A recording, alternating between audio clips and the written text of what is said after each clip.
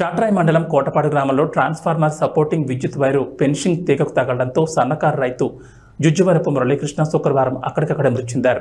పిల్లలను కోతులు వెంబడించడంతో రాయిని తీసే ప్రయత్నం చేయగా విద్యుత్ వైర్ తగలడంతో మృతి చెందినట్లు స్థానికులు తెలిపారు.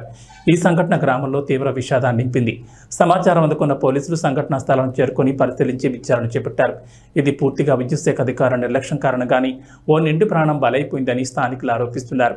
చనిపోయిన వ్యక్తికి భార్య ఇద్దరు పిల్లలు ఉన్నారు. తమను ఎవరు బ్రతికిస్తారు? మేము ఎలా బ్రతకాలని భార్యా పిల్లలు చాలా ఆవేదన చెందుతున్నారు.